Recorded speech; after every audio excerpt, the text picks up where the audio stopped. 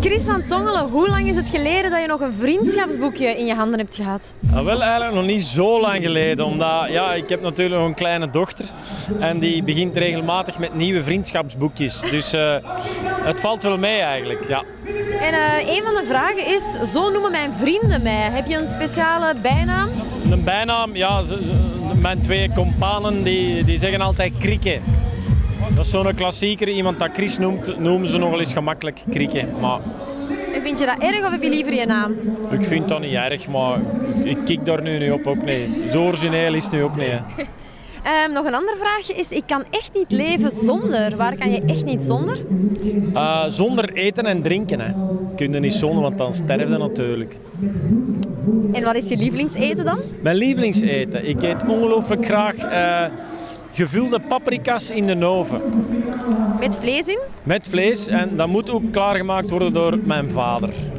Ja, dat is de enige die dat goed kan klaarmaken. En waarom maakt eh, uw vader dat juist zo speciaal? En Ik weet en ik denk dat een beetje nostalgie is. Dus eh, mijn vader die kookt altijd zondags, voor de rest nooit, maar zondags wel.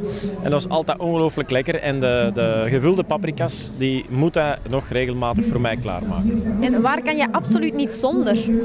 Zonder, ik kan niet zonder ehm, koffie.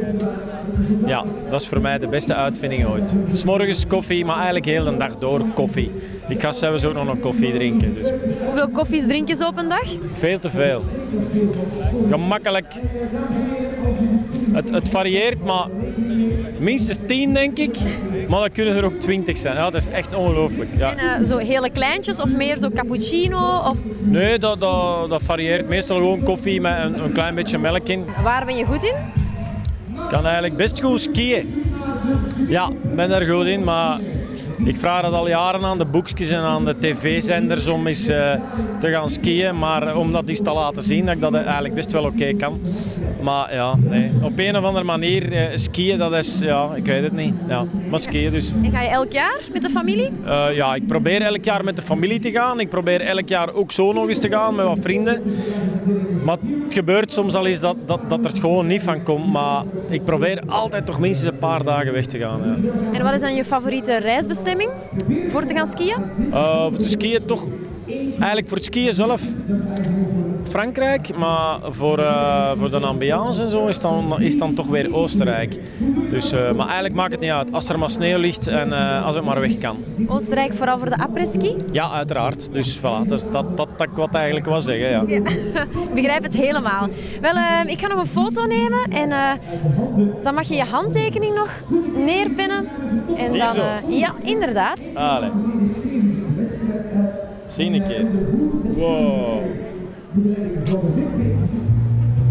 Ik was aan het luisteren. Wow. Voilà. Hey, Dankjewel. alsjeblieft.